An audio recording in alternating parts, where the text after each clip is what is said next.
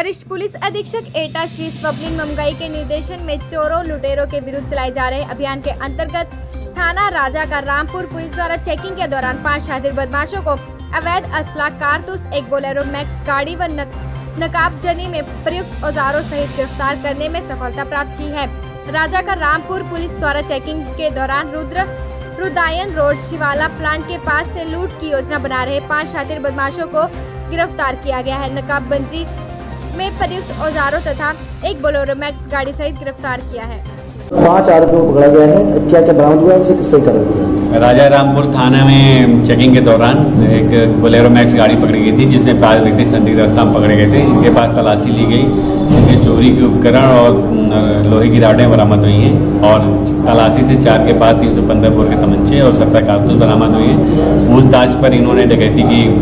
Planning करना बताया है और डकैती डालने के लिए निकले हुए थे। इनकी गिरफ्तारी करने पे आवश्यक कार्रवाई की जा रही है।